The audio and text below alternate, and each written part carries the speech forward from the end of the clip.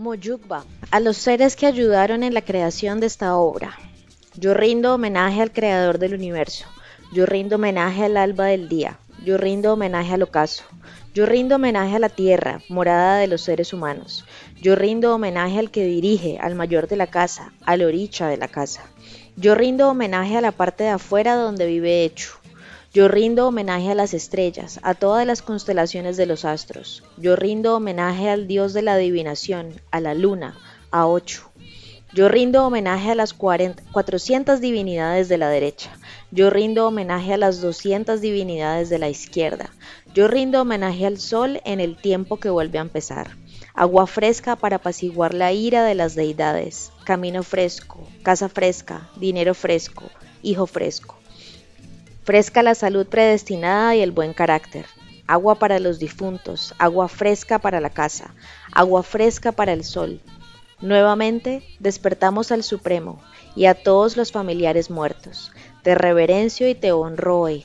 Reverencio a la ocha y a los difuntos. Te reverencio y doy lugar a quienes están en el cielo. Reverencio al que ha desaparecido.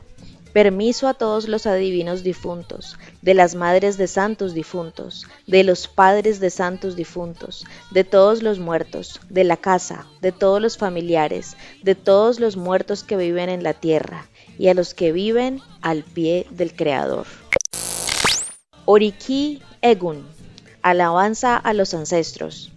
Alabanza a todos los ancestros, a los ancestros que han conservado el misterio del vuelo implume, a las palabras de reverencia y poder, a los tambores que anuncian su llegada, porque sobre la estera esparcen su presencia y su poder. H. Así empieza el libro biográfico sobre Celina González, de Mirella Reyes Fanjul. Celina González, una historia de amor. Empezando, esto es, solo sé que tiene nombre de mujer, precursoras y referentes de la salsa por Oriente Estéreo 96.0 FM. Yo soy su merced y hoy vengo a compartirles el comienzo del libro que escribió Mirella Reyes Fanjul cuando Celina todavía estaba en este plano y Celina González es una de las razones principales por las que he tomado el camino de la espiritualidad yoruba.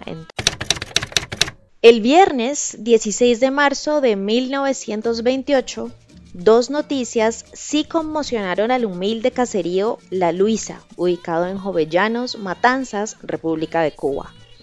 Una arrancó lágrimas de los ojos marchitos de los viejos que pelearon en las dos guerras de independencia, cuando de voz en voz corrió como la pólvora que el coronel del Ejército Libertador, Fernando Figueredo Socarrás, secretario de la Cámara en 1875, aseguraba que la bandera devuelta por España entre los trofeos de guerra reclamados por Cuba era efectivamente la enseña de la de Majagua, la bandera del padre de la patria, la de Yara, que regresaba de nuevo a la tierra de la que nunca debió salir, donde cumpliría con el legado histórico que Carlos Manuel de Céspedes le había asignado.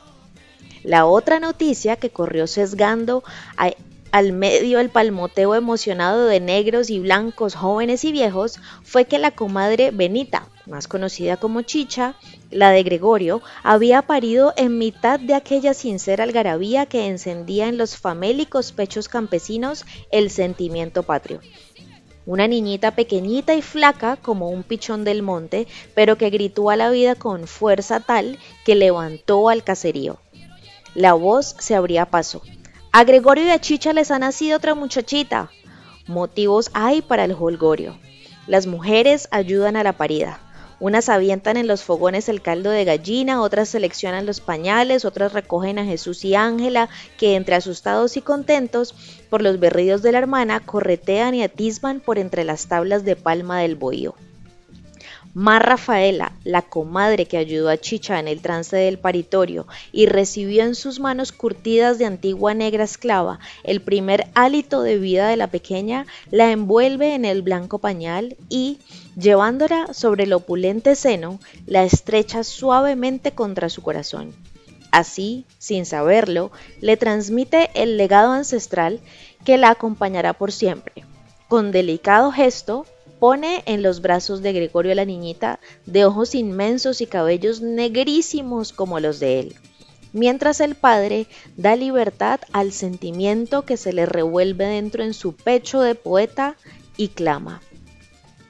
Abre la mañana hermosa con rayos del sol sitiero, y es el sinsonte el primero que besa suave a la rosa, mientras el zorzal se posa en la cerca junto al río que corre al libre albedrío por una sabana bella, hermosa como esta estrella, dueña del corazón mío. Así, ayudada a nacer por las manos amorosas de una negra conga, escoltada por la bandera que marcó el inicio de nuestro largo proceso de independencia y venida al mundo en el seno de una humilde familia que había fundado su hogar donde el paisaje parece querer explotar de color y diversidad, se abrió a la vida Celina González Zamora, acariciada por la décima Guajira y los cantos de alabanza a Ochun, que en su nacimiento se fundieron y llevaron a sus venas y al torrente claro de su voz el sello vernáculo de Cuba, un,